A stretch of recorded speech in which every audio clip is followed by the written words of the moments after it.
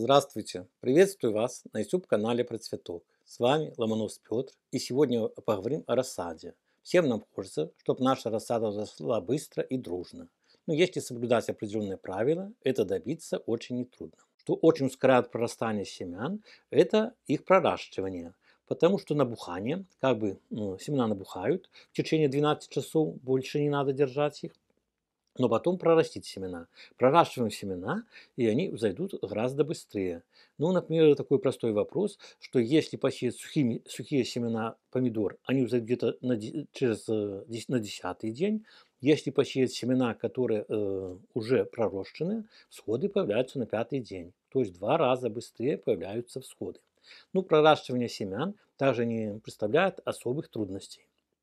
Ну, э, опять же, нам надо будет э, бумажная салфетка, которую мы увлажняем, рассыпаем семена и полиэтиленовый пакет. Значит, проращивать семена где можно? Можно проращивать семена, конечно, температур, э, при соблюдении температурного режима. Э, многие проращивают просто в комнате. Вот. Ну, тут необходим термометр. Э, необходим обычный термометр. С какой целью надо нам термометры? Э, потому что температура в комнате может быть и 18, и 20, 22 градусов. Так вот, для проращивания семян, особенно таких теплолюбивых культур, как томаты, необходима температура воздуха, чтобы было градусов 25-27. Для перцев и баклажанов температура э, воздуха может быть уже и 30 градусов. Поэтому при соблюдении таких температур наши семена зайдут как бы набухшие семена и помещенные вот такой пакет зайдут очень быстро. Чем ниже температура, тем дольше появляются всходы. Запоминайте, семена нельзя перегреть на этом, при таких, если вы будете все регулировать термометром. Ну, если вы семена уже высеяли, э, значит, ну что, что семена очень отзывчивы на что? Любые семена отзывчивы на подогрев, на подогрев почвы. Как может осуществиться подогрев почвы? Подогрев почвы осуществляется очень-очень просто. Значит, если у вас э, есть высокое расстояние между батареями и подоконником, значит, вы можете э, емкости с семенами поместить в полиэтиленовые пакеты и поставить э, на батарею. Поставили на батарею, батарея будет снизу подогревать ваши семена, и они взойдут, поверьте, гораздо-гораздо быстрее, чем э, если бы они стояли просто на подоконнике. Ну, другое такое условие, если у вас свой дом, у вас, конечно, может быть печка, может быть русская печка, камин, которую вы постоянно протапливаете. Так вот, если семена поставить в таких условиях, где что-то кирпич, кирпич нагревается и отдает тепло очень медленно, ваши семена взойдут очень быстро. Знаете, предвижу вопрос, что некоторые могут задать вопрос, что вот, мол, мы сеем семена, вот, а там нету света. А света не надо. Пока семена не всходят, любые наши емкости не обязательно держать на свету. Свет там не нужен. Только с появлением всходов растения нуждаются в свете. А отдельные семена, но их очень мало, например, тоже сельдерей, которым требуется свет для прорастания. Но это как бы исключение, это малое количество овощных культур. Большинство овощных культур прекрасно восходит в темноте то есть когда посевы засыпаны почвой. Ну, если у вас и печи нет, есть с батареями проблемы не подсадить, значит воспользуемся самым простым способом, который тоже доступен каждому огороднику. Для этого мы возьмем такую старую, добрую э, медицинскую грелку. Беру медицинскую, беру медицинскую грелку, вот, наполняем на 2 трети водой. Но здесь температуру воды надо мерять, не на глазок. Э, надо мерить ее или на показателях в колонке, или убрать термометр. Специальный термометр такой вот. Нашу промираем э, температуру воды. Вода должна быть 55-60 э, градусов. Заполнили нашу грелку. После этого, значит, ставим емкость. Ставим емкость с высеянными семенами на нашу, на нашу грелку поставили эту емкость, все помещаем в полиэтиленовый, полиэтиленовый пакет. И после этого укутываем одея, каким-то или одеялом, или полотенцем. Вот, укутали, э, для чего? Чтобы эта температура сохранялась. Два дня мы можем не трогать. Поверьте, что все семена, например, помидоры уже всходят на четвертый день, если они стоят на грелке. Э, перцы где-то шестой-седьмой день, и баклажаны уже также наклевываются, начинают всходить. Поэтому этот способ очень-очень хорош. Как бы такой ну, практичный для подогрева, нижнего подогрева почвы.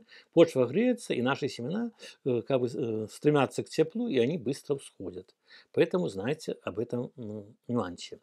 А, ну, точно так же Немного так э, как бы уже перескочили вперед. Ну, многие скажут, вот Петр Николаевич, вы там не сказали э, о подготовке семян, надо ли их обрабатывать. Вот. Ну, значит, обрабатывать семена как бы э, на, можно, но не забывайте, что концентрации при обрабатывании семян э, очень низкие и в домашних условиях просто на глазок их определить очень трудно. И что часто получается. Даже та же любимая нами марганцовка, если дать большую концентрацию, значит семена становятся темно-коричневыми, и они просто-напросто сжигают, сжигают росток. И наши семена вообще теряют схожесть. Даже возьмите такой простой вопрос, как замачивание семян. Замачивание семян более 12 часов, как бы что, что дает? Э, замочили дальше, и растения просто-напросто задыхаются. Задыхаются от недостатка кислорода. Семена теряют, теряют схожесть. Ну, далее, кто-то тоже есть эм, товарищи такие, что пропагандируют, вот подвешиваю мешочек с семенами под проточной водой, и она течет там сутки, и семена потом хорошо всходят. Все это неправда. Потому что семена, которые будут под проточной водой, наши питательные вещества будут вымываться, наши семена будут обедняться и, соответственно, будут сходить плохо. Поверьте, что природа позаботилась о семенах, она дала им запас питания, и в природе они все всходят и прекрасно растет.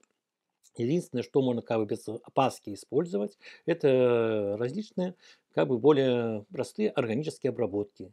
Тот, тот же сок, сок алоэ, например, это прекрасная органическая обработка, где вы как бы не провести концентрацию и не повредите вашим семенам. Точно так же вот картофельный сок для обработки семян э, почтеновых культур. Он также прекрасно подойдет, вы обработаете, и ваши семена очень хорошо, хорошо взойдут. Ну и дальше, что? Если вот семена мы проращиваем, э, смотрите, какой нюанс. Сейчас многие производители фасуют очень малое количество семян. В пакетике э, перца и помидора может быть всего лишь 5 штучек.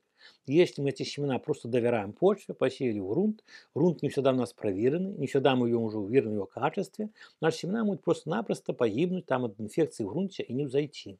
А если мы проращиваем, мы, значит, знаем, что уже семена у нас хорошей схожести, э, и, друж, и, и хорошей и дружной схожести, вот поэтому уже основные причины, значит, только в грунте.